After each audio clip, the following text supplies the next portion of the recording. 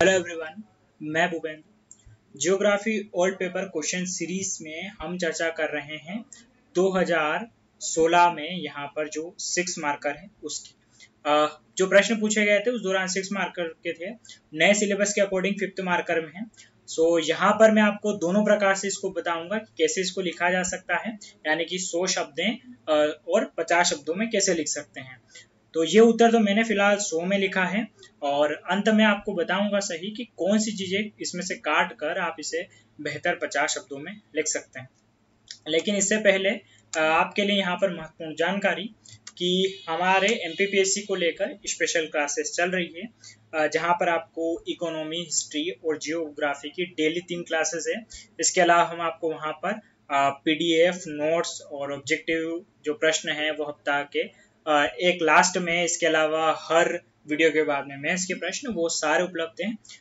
Demo videos available हैं, आप जाकर ज़रूर देखिएगा, मात्र सात सौ पर मंथ में। एक बार आप डेमो वीडियो देखेंगे तो फिर आपको लगेगा कि क्वालिटी बेहतरीन चलिए तो वापिस हम लौटते हैं प्रश्न की तरफ़, और प्रश्न है हमारा कि मध्य प्रदेश से गुजरने वाले राष्ट्रीय राजमार्ग कौन कौन से हैं, और मध्य प्रदेश के विकास में इनका क्या महत्व है?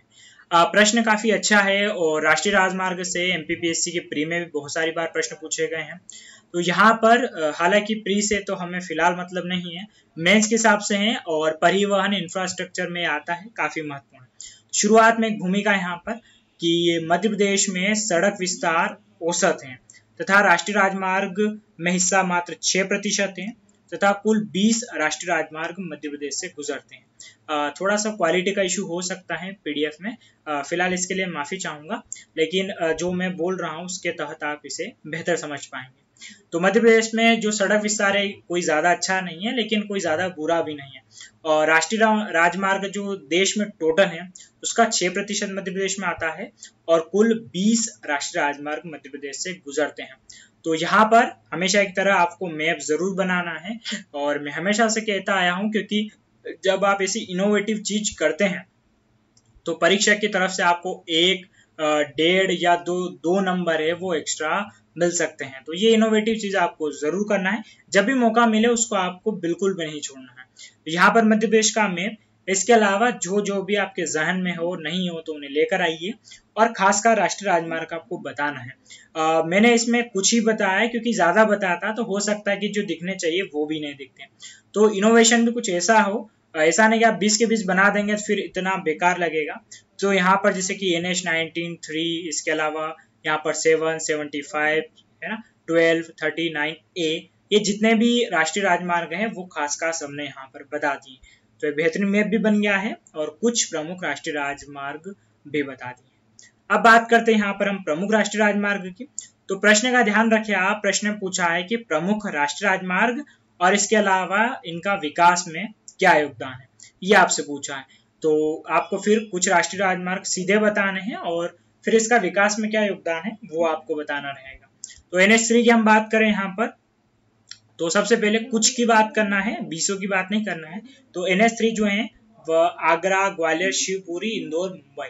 यानी कि आगरा से जो मुंबई जाता है, वह ग्वालियर, शिवपुरी, इंदौर से होकर गुजरता है एन एच थ्री और आपको पता भी होगा, मध्य प्रदेश का सबसे बड़ा राष्ट्रीय राजमार्ग मतलब लंबा राष्ट्रीय राजमार्ग है, जो मध्य प्रदेश से गुजरता है। इसके अलावा एन एस सेवन की हम बात करें तो वाराणसी, रीवा, सिवनी, कन्याकुमारी। तो मध्य प्रदेश में होकर गुजर रहा है।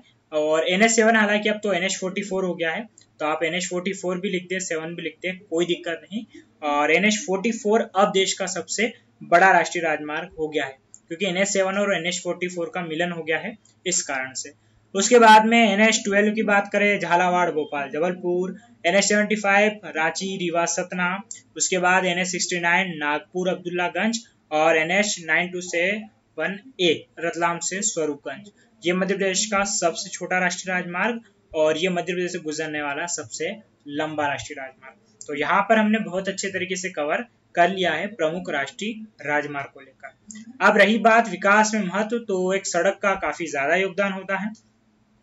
तो विकास में महत्व की हम बात करेंगे।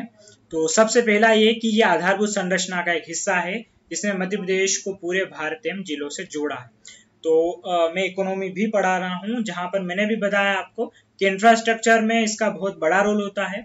और जब आधारभूत संरचना होती है तो एक किसान एक अच्छी सड़क के माध्यम से चाहे वो 200 किलोमीटर दूर उसकी मंडी हो अपनी फ़सल या जो भी उत्पाद है उसे बिना सड़े पहुँचा सकता है उचित दाम मिल सकते हैं। और अगर ये ना हो तो आवागमन बेहतर नहीं होगा और फिर किसान को उचित मूल्य नहीं मिल पाएगा। हालाँकि ये सिर्फ़ किसान के लिए काम नहीं करते हैं कोयला खदान से कोयला का किस स्थान पर टाइम पर पहुँचना, इसके अलावा सड़कों के माध्यम से ट्रकों का आना जाना, बहुत सारी चीज़ें इसमें इंक्लूड होती हैं। तो राष्ट्रीय राजमार्ग काफ़ी बड़ा रोल प्ले करते हैं और आप इस चीज़ को बेहतर तरीके समझ पाएँगे कि एक जो सड़क होती है, वह आसपास क्या करती है, रोज़गार भी जनरेट करती है। क्योंकि बहुत सारी बार क्या होता है यहाँ पर कि जो ढाबे वगैरह वो खुलते हैं। दूसरा मध्य प्रदेश के कृषि उत्पादों को पूरे भारत में आसानी से पहुँच तो इन्हीं राष्ट्रीय राजमार्ग की बदौलत है कि मध्य प्रदेश एक कृषि उत्पादक राज्य है, आप सभी को पता है। और यहाँ पर इनकी पहुँच इन्हीं राष्ट्रीय राजमार्गों के थ्रू पूरे देश में आसानी से हो पाई है।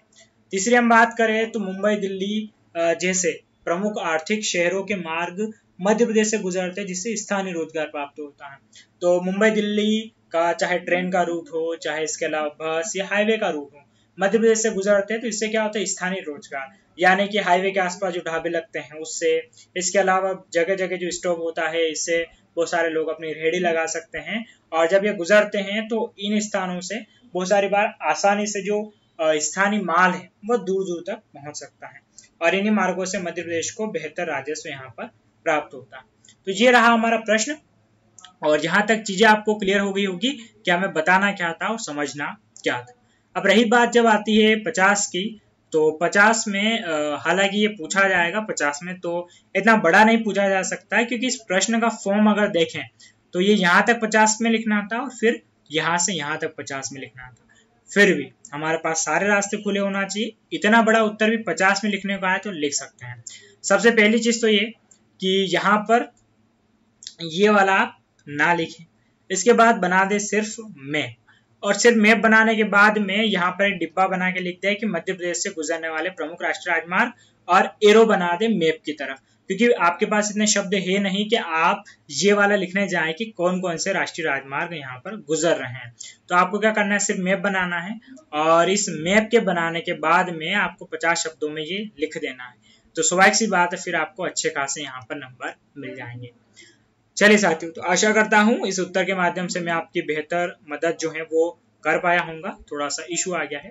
चलिए, ये नेक्स्ट प्रश्न है जो नेक्स्ट डे के लिए। खैर तो यहाँ पर चीज़ें आपको क्लियर हो गई होगी और ये जो प्रश्न है, इसके माध्यम से बेहतर मदद मैं आपकी कर पाया हूँ तो आप जो पूरी जियोग्राफी और पेपर क्वेश्चन सीरीज़ है, उसे जाकर ज़रूर देखिएगा। पुराने 2014-15 में आपको क्लियर करवा चुका आज का वीडियो लेक्चर यही समाप्त होता है। आप सभी का बहुत बहुत धन्यवाद।